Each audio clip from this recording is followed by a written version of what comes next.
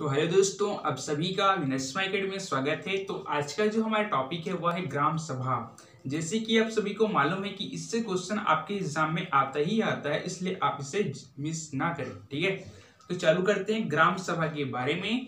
तो जैसे कि आपको पता है कि राज्यपाल जो होता है, वह गाँव या फिर गाँव के समूहों को आपस में मिलाकर उसे ग्राम के रूप में घोषणा करता है, घोषित करता है, तभी जाकर वह हमारा ग्राम कहलाता है ठीक है?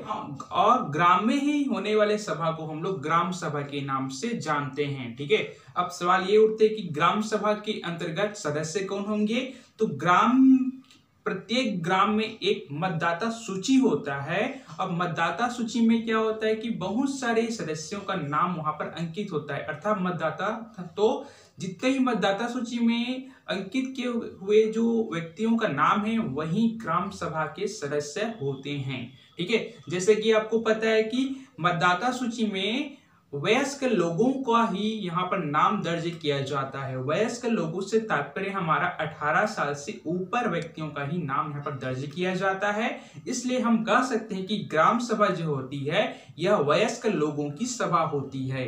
ग्राम सभा में जो भी सदस्य होते हैं, उनका जो कार्यकाल होता है, वह जीवन भर होता है। जैसे कि आपको पता है कि लोकसभा में जो सांसद का जो कार्यकाल होता है, वह लगभग आपका पाँच वर्ष होता है। हालाँकि उस पाँच वर्ष के पहले भी उसे हटाया जा सकता है, परंतु ग्राम सभा की बात किया जाए तो इसमें जो सदस्य होते हैं, उनकी जो कार्यकाल जीवन भर होती है, इसलिए कहा जाता है कि ग्राम सभा को कभी भी भंग नहीं किया जा सकता।